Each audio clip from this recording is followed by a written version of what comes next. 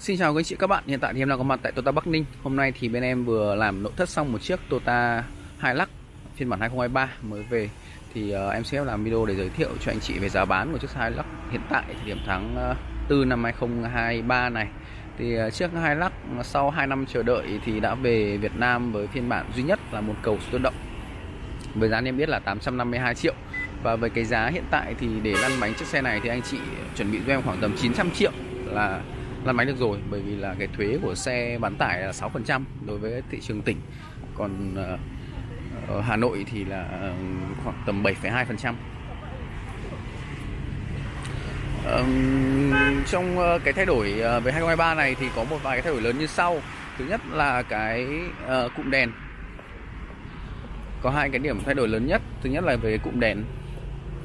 Cụm đèn đã được sử dụng uh, cụm đèn bi led pha và cốt trung bóng.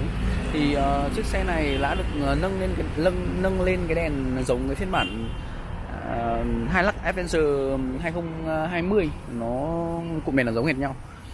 Thì cho ra hiệu năng chiếu sáng cũng như là cái thẩm mỹ phần đầu xe lớn hơn. Và cái thứ hai nó nằm ở trong cái khối động cơ này. Và tiện quay cho anh chị thì em sẽ đứng ở đây. Là chiếc xe này được nâng lên cái tiêu chuẩn khí thải là Euro 5 đồng nghĩa với nó là anh chị uh, sử dụng giúp em là cái nhiên liệu là uh, dầu diesel đạt uh, cái tiêu chuẩn khí thải Euro 5 giúp em. Là đây Euro 5 này. Và đồng thời là anh chị sẽ dùng cái tiêu chuẩn dùng dầu là 0,001 SV Euro 5 ngoài ra thì xe có một cái hệ thống này là như chị thấy đây. Uh, có thể lóa em sẽ đọc giúp anh chị. Xe này có hệ thống lọc bụi khí xả. DF DPF trong khi DPF hoạt động đèn chỉ báo sẽ sáng hoặc thông báo sẽ được hiển thị. Giữ khoảng cách an toàn với các vật liệu dễ cháy vì xe phát ra khí thải có nhiệt độ cao khi Df hoạt động. Đèn chỉ báo sẽ nhấp nháy hoặc thông báo sẽ được hiển thị. Hãy đỗ xe ở nơi an toàn và nhấn công tắc DPF uh, ờ, xem vẫn sử dụng để biết thêm thông tin về vận hành.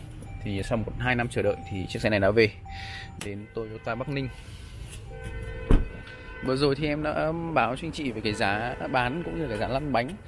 À, anh chị nào quan tâm đến các thông tin khác như ví dụ như là chiếc ờ, xe hai nắp hai lắc này thì nên lên lắp những cái gì này rồi làm phụ kiện gì thì liên hệ giúp em qua số lại trên màn hình và trả góp như thế nào. Và dòng xe bán tải là dòng xe khá đặc biệt đối với um, vay trả góp và cũng như là các thông tin khác, ví dụ như là chi phí đăng ký cũng khác so với cả xe bình thường, có hoán cải hay không, hay là trả góp bao nhiêu phần trăm và thời gian bao lâu.